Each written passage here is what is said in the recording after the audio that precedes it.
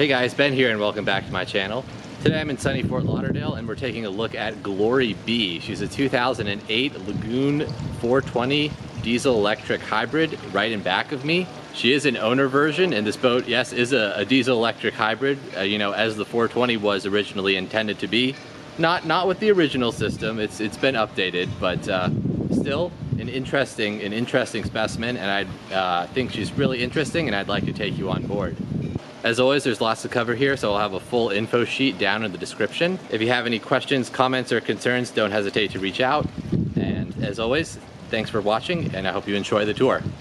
All right, so we're here on the Lagoon 420 Glory B. We're looking aft at the salon. We've got two opening windows to the uh, salon. Notice how all of the lines on this boat are led back aft to the helm station. And this is the Lagoon 420, not its uh, elder sister, the 421. So the hardtop is separate from the uh, from the uh, rest of the coach roof. Uh, some people have actually told me that they uh, prefer this arrangement uh, to the 421 just because you get more breeze into the aft cockpit. So on top of the hardtop,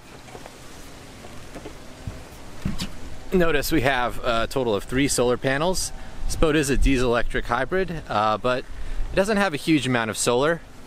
Um, there's only three, you know, medium-sized solar panels.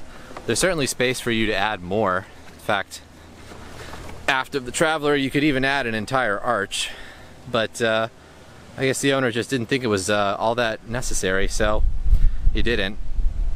Looking forward, we've got good access to the mainsail here. We'll pop back down to look at the foredeck. You notice that the Lagoon 420 is one of the few, in fact perhaps the only lagoon that was uh, ever built without a crossbeam. The bridge deck and this whole uh, trident bow system is just big enough you don't really need one. So this boat has a Rockna anchor as well as a uh, you know a small little bowsprit up there that was welded on to uh, allow you to fly the spinnaker. You've got your windlass uh, down here and your sail locker is in that hatch.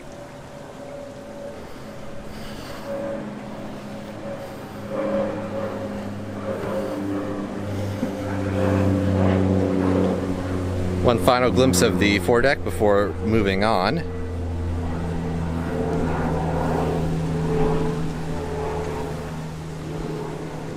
Boat has one shroud.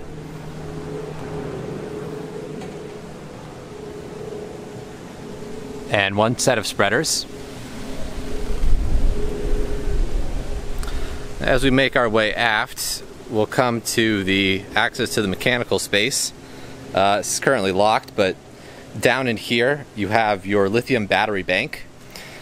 Originally, the Lagoon 420 was built with uh, sort of heavier wet cell batteries, but frankly that didn't work, and in this day and age it would definitely not fly, so this boat is fully lithium.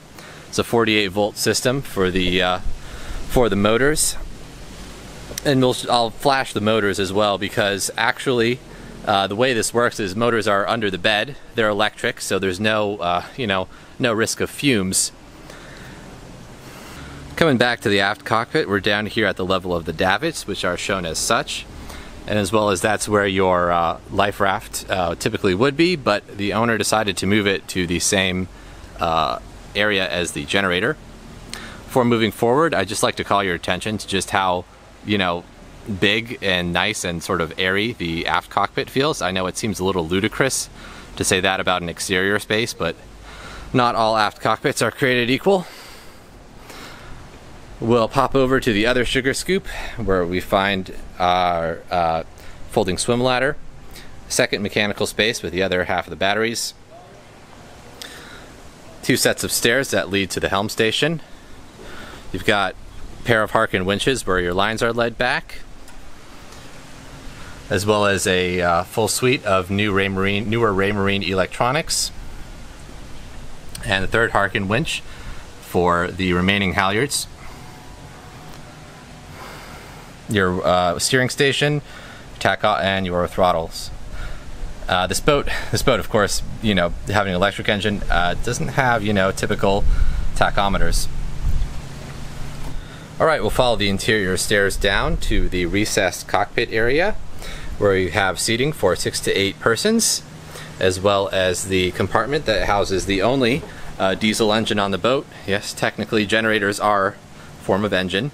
They create energy. Uh, it's a 21 and a half kilowatt uh, Onan generator, has a little under a thousand hours, and if you're curious about the range calculations on this boat, uh, it can motor, I'm told, uh, based on the 48 volt uh, house battery bank for about two and a half to four hours, and when you throw the generator into the mix, you get a total of about 2,000 nautical miles of range. Um, admittedly, uh, given that the Lagoon 420 has always been considered by myself and several other people more of a coastal cruiser, uh, some people may question the, you know, wisdom of converting a boat to diesel-electric hybrid, but again, given that the most people who buy 420s aren't the uh, aren't super interested in blue water sailing, it actually, in my opinion, is not necessarily the worst candidate for a conversion like this. Though no shade to the owner, he did sail this boat across the Atlantic Ocean from the Med, so uh, props to him. I definitely appreciate him doing that. We'll finish up our tour as usual on the interior. We'll find some of the 420's less esoteric features.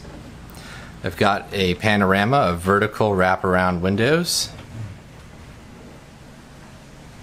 Off to port, we've got the galley with uh, countertop space, dual basin sink, drying rack, three burner stove and oven, as well as a sliding uh, glass panel that opens to the aft cockpit. Forward you have a small but very well appointed nav station with a swing seat and gorgeous table as well, really nice condition with an L-shaped settee and an ottoman and of course under the ottoman you do have more storage. I did say some of the less esoteric features were on the interior, but uh, the helm arrange the sorry head arrangement is uh, one of those things on the 420 you have to get used to. Opens from two directions in the aft. And you've got a double a double opening doors to your walk-in shower. The aft guest cabin has uh, three three storage drawers under the bed as well as you've got nice big windows to let in lots of light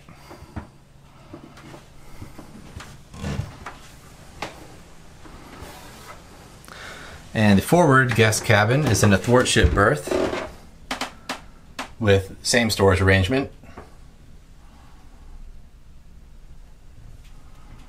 However, the head is split in two, the shower being forward. And the remainder being in the aft compartment. So the four the four cabin version of this boat is uh, definitely a bit confusing to uh, many people, but this is the owner's. So we'll pop over and finish up in the owner's suite. As usual, you've got a sliding sliding door for the owner's privacy.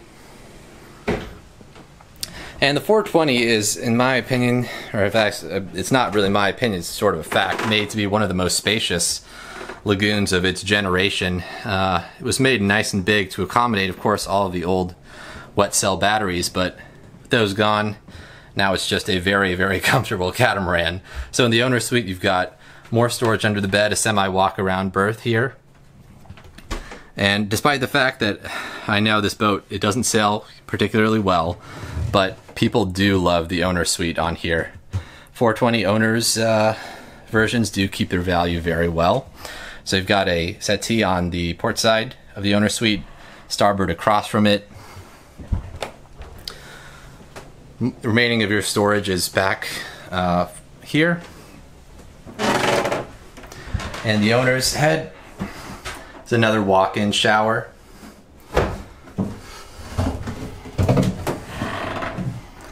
With your sink, vanity, lots of storage. Two whole, two whole doors here. And of course, the aforementioned window. I will look at the bilges as well, just because I don't look at I don't look, I haven't done too many nitty gritty videos recently, but here's how the bilges are arranged. Bilges are always a good sign of a boat kept in good condition. Nice to see everything organized. So that is our tour of the Lagoon 420 uh, Glory B.